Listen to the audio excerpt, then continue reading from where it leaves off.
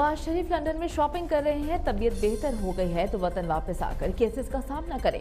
राह फरार से कुछ हासिल ना होगा। गवर्नर सिंध इमरान इस्माइल के सबक वज़ीर आज़म पर बार इस्लामाबाद में जे का धरना फ्लॉप शो करार।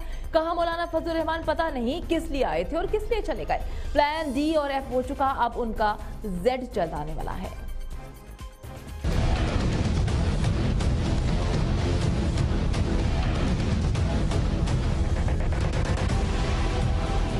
कि वो सेल्फ ब्रिजेस में शॉपिंग कर रहे हैं या वो अपने मॉलेज के साथ घूम फिर रहे हैं और लंदन के अंदर इस वक्त मैं कहूँगा कि रिटेल थेरेपी चल रही है।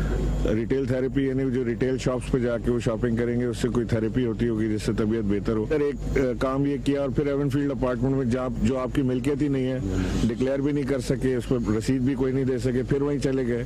उन्हीं लोगों ने रिसीव किया जो पाकिस्तान को मतलूब है। अगर तबीयत इतनी बेहतर हो गई है कि वो शॉपिंग कर रहे हैं और खा पी रहे हैं रेस्टोरेंट्स में माशाला कि वो पाकिस्तान वापस आकर अपने तमाम केसेस का सामना करें। वो एक फ्लॉप शो था। वो पता नहीं किस लिए आए थे और किस लिए चले गए। कुछ वो खुद ही बता, आजकल अब तक तो वो खुद भी नहीं बता सके कि वो वो कहते ही हैं कि मैं ऐसे ही नहीं आया और ऐसे ही नहीं गया।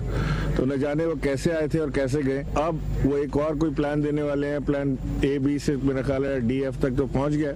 अब न जाने किधर तक जाएगा। इसका जेड जल्द आने वाला है।